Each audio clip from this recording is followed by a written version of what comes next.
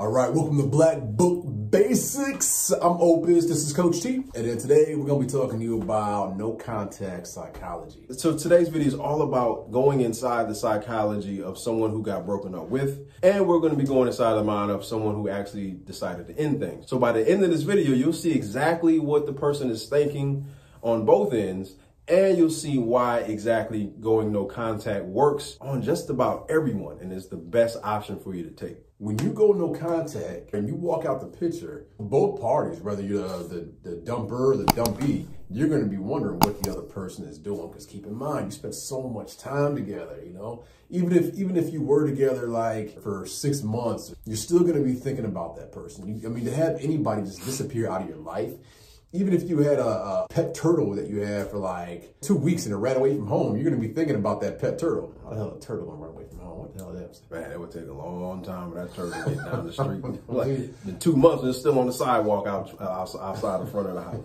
Roger, he he's moving on, ain't Don't leave me. Don't leave me. Give me one more chance. You're both going to be thinking about each other what you guys are doing, you know, what's going on. You got to keep in mind, if you're the one that got dumped, the person that dumped you is going to be thinking about you almost as much as you're thinking about them. As long as you don't do anything crazy to the point of no return. We say this all the time in videos. When women are done with you, they are done with you. When you push them to the point of like not thinking about you, or not caring about you. I mean, when it, when it gets to that point, it's because you did something really bad. You did something crazy to completely like mess yourself up. That's when it gets to the point of like vandalizing stuff and kicking dents in her car and stuff like that and going crazy. That's when you're at the point where she, she'll just like quit thinking about you. And if she does, it's like in a negative way to the point where, you know, every time she walks out to her car and she's at a dent, she's to be like even more mad at you. Okay. So reason why I said that is you guys quit being stupid during no contact, quit or during the mm-hmm. breakup. Don't start doing crazy stuff and yelling at them and like grappling with them and getting yourself in trouble, putting in jail and like restraining orders against you, man. That's just like, it's not worth it. It's really stupid, all right? But as long as you like play the game right, you break up and it's a cool, clean breakup, nothing fazed you, you're on your like GQ, you know what I'm saying? All right, cool, all right, peace out. You leave, you leave just like she asked you to do. Things will go a hell of a lot smoother for you, okay? She's gonna be thinking about you more, about how you walked out the picture like so smoothly, how you're not like a, you know, you didn't cry, and you're like, you're more masculine and you come off more manly than any other guy during a breakup has. Because all the other guys, they'll start crying and like, man, we have so many guys that are like in the service, you know, military, army, marines, whatever. Navy SEAL. And these are like, these are like the most sickest, hardcore, like men alphas, you know what I'm saying, theoretically. But it's like, you know, we talk to them in our coaching and, and, you'll be amazed how many of these guys become like, like really soft when it comes to a, a, a scandalous ass little hoochie that don't care about them. Mm -hmm. You know, that's when they get in their emotions and all soft and sad and scared yeah. and crying and emotional. Not to just talk about people on the service because I have people eh, a bunch of men do it. I mean, even if you're like a doctors, we talk to lawyers or whoever, man. But like, it's it's just like those guys in the service trip me out when we get those type of calls. These do these men know how to strike you in the throat with their index finger at a certain degree and how to make you choke on your own blood. I mean, they know how to do things like that, and then they, they're boo hooing over a chick who doesn't even want them and anymore. completely brushed them off and like ruined their life. Respect to the guys in the service, but like men should be men. Like men, yeah. like there's regardless of like the, the, situation you're in, how to break up when, like you should always be a man. Like men, we're big boys. I was told this when I was a kid. You're a big boy. Big boys don't cry. I mean, I you know girls will say it's okay for a man to cry, which yeah, I, I guess it is maybe, but at the same time, not over a woman that completely ruined your life or tried like hurting you, you know what I'm saying? And, and, taking half your money and just completely like cheating on you and like destroying you emotionally and, and, and, getting in your head and messing you up psychologically. So another tenet of the no contact rule psychology is that it's based in scarcity. The scarcity principle is, is the main driver of the no contact rule because during a breakup, you're in her face all the time. You're doing a lot of unsavory, unseemly things. You're probably not, not just blowing her phone up, hitting her up on Instagram and TikTok. There's a lot of guys out there that they reach out to and say, I'm going to kill myself to try to get her attention, to try to, you know, feign sympathy to, you know, make themselves, to make them have, you know, to have their ex feel sympathy for them to, to try to get back with them. That's a horrible thing. Man, what's funny about that is, all right, bringing up Jillian again, all right, my, my ex back in the day, I was basically her rebound, all right? So when her and her old guy broke up, we first started dating and everything. And, you know, for one, you know, he was, he was like leaving these voicemails, like threatening me and like threatening her and all that stuff. And he just dude went as far as to put like, it looked like ketchup on his wrist, talking about like how much he like I can't do this. You brought me to this. You little, you little, you know, just every cuss word you can think of, man. It was like on a, on a voicemail. And I was that guy on the other end. I was like, dude, what's wrong with this guy? you know, like laughing at him. But that's when you reach rock bottom at that point. Yeah, yeah. But a couple of years, you know, a little while later, I became that guy.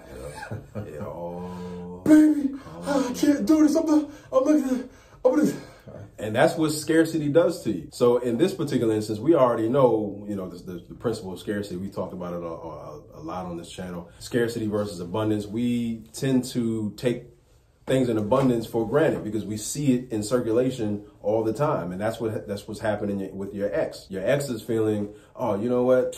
I can get him back in any time. He's on he's always in my face. I got him wrapped around my little finger right now. I can text him to come over right now. He's at my beck and call. And women obviously they love attention. So even quote unquote negative attention when she's you're blowing her phone up and faking suicide. A lot of women relish and revel in that, knowing that even though they may have said, hey, don't ever contact me anymore, a lot of women do love the fact that you're still blowing them up, despite the fact that she's telling you, get out of my life, don't contact me anymore. Because women, they love that attention. But the thing is, when you go no contact, you make your attention scarce. And we know that there is a direct relationship between scarcity and attention because we value the things that are scarce the thing anything that is in in scarcity. And we've seen that you know with with the events that have you know that have taken place over the last year or so we've seen how scarcity can drive up attention and drive up demand. So when you pull your attention away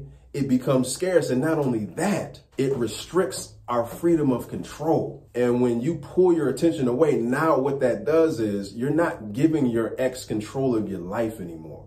You take the reins back into your into your life and into your form and say, look, I I, I control the direction of where this is going to go. I'm not going to be your little errand boy anymore, getting on my knees and, and, begging you to come back to me. And what that does is it, it terrifies her because now she doesn't have that control anymore. The thing about human beings is we're wired to have freedom of choice. And the thing is when you restrict that choice, it provokes an emotional response, especially in your ex. And a good example of this is when you hear kids, uh, when we talk about kids and, and, parents, the terrible twos. And the reason why kids, when they're so terrible at the age of two years old, is because they have a, a, a, myriad of options now. They don't have to be fed anymore. They can feed themselves. They can get up and walk. They can get up and talk. They can get up and play. They can get up and, and grab a toy. They can get up and, you know, go, go to bed. They have opinions about what they want to do. No, I don't want to eat that. I want to eat this. No, I want to watch this. I don't want to watch that. I want to go play. I want to go read a book. So they have a lot of options.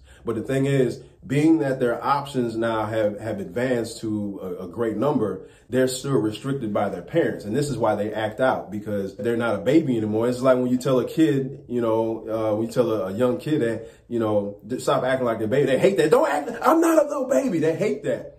But the thing is, we, as parents, you know, they restrict that. And the same thing with teenagers.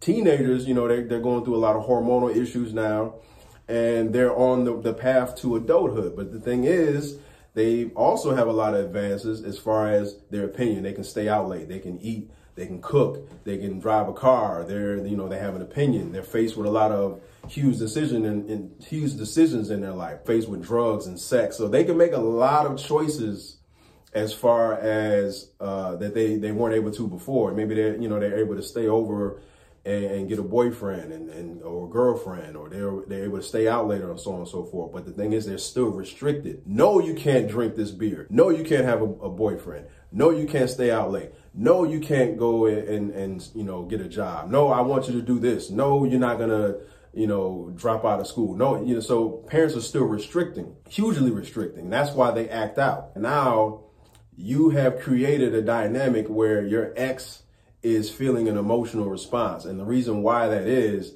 is because it's all wired within us evolutionary wise. And because we value the things that are scarce, as I just said. And the thing is, what also compounds it is the fact that now since she's feeling something because she doesn't have that control anymore, it's going to make her want you even more now. And compounding that is the fact she's going to make justifications for it because when we re- we're restricted by our control and it makes us want something anymore, we're going to be like, we go on Amazon, it says only two left, only two in stock. Now you're going to be like, man, you know what? It is kind of expensive, but since this is two left, I gotta have it. When you pull your attention out, when you pull your, your yourself out of the form of your ex blowing her up, now she's gonna start making justifications for it. Like, you know what? Dang, I do kind of miss him. But the holidays are coming up, Valentine's Day is coming up, and you know, I do miss him, and you know, he really was a good guy. But you can only get to that point if you go no contact, if you pull your attention out of the form to allow her to miss you, to allow her to start feeling that emotional spike for you, to, to allow yourself to be scarce. But you can't do that if you're in her face because your attention is uh, in abundance right now. And she's looking at that and taking it for granted. But it's time to make yourself scarce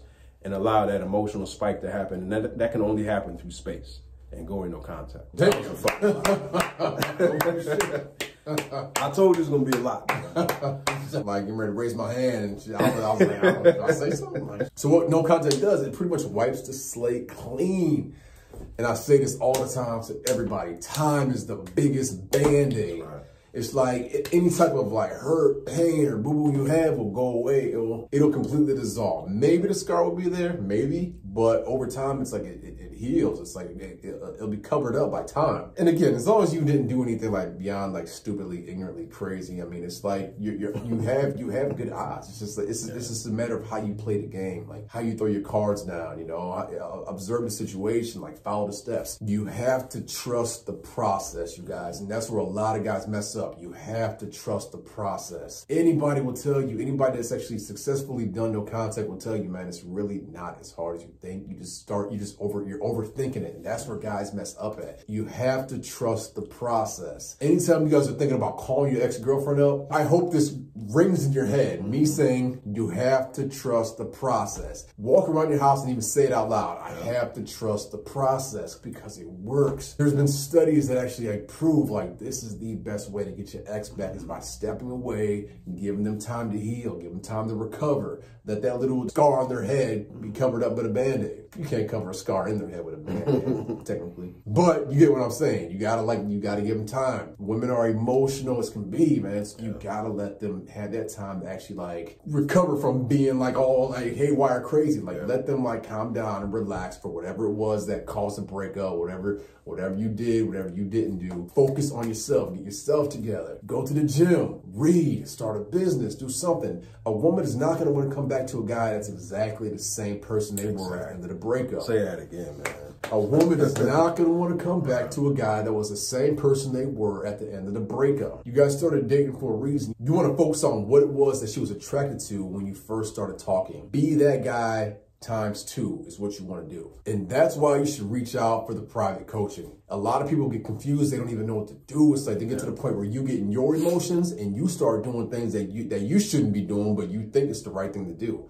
That's why you need private coaching. Personally, me, I was raised by, it by you know, she's not, she wasn't a life coach, but she was a motivational speaker. She's a well-known motivational speaker for, for her career. I went from being a, a complete like mess up, you know, a, a, little needy, like I was like the biggest pansy. I guarantee you I'm probably bigger pansy than the majority of our subscribers at that time. If it wasn't for her, I wouldn't, I wouldn't be nearly as successful as I am today. I still would have been a little crybaby that's begging women to come back to me or buying girls flowers and, you know what I'm saying, doing all the little like little pansy stuff that, that guys be doing. The coaching is where it's at. Like a lot of people, like I, I mean, I was like, I was even like, I was like so embarrassed to even like even ask her to even like help me out. Yeah. But at the same time, it's like I feel like that was like the best thing I did. Even like with therapists, I know so many people that had like crazy dark times in their life where emotional, you know what I'm saying, where they're like legit like suicidal and like hated life and just were like completely like into drugs and like ruining their lives. And like the moment they reached out to the to the therapist i mean it wasn't like a it wasn't like a quick fix. I mean it took like roughly like you know two months for them to actually say okay I, I can see the picture more clear now. But like if you're in that dark hole and you're in that dark situation reach out to a therapist. If you're confused about the no contact and you're like going crazy over this girl